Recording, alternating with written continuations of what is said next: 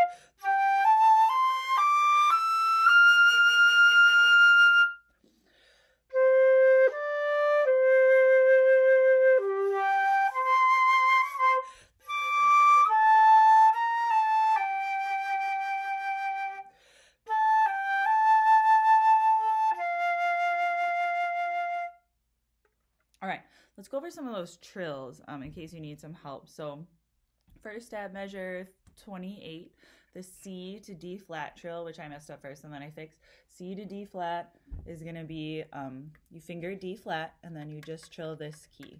Okay, C to D flat will be like that. And then you have a lot of high G trills. So you're to finger high G, okay, finger high G, and then you're to use this first trill key right here, this first trill key only. And that's what goes back and forth. Um, and so you have that one a bunch of times. Is there any other trills? Oh, low D to E flat. It's just you finger D and you just do your pinky. That one's pretty easy. Um, yeah, I think that's it. So have fun practicing and we'll see you soon. Bye.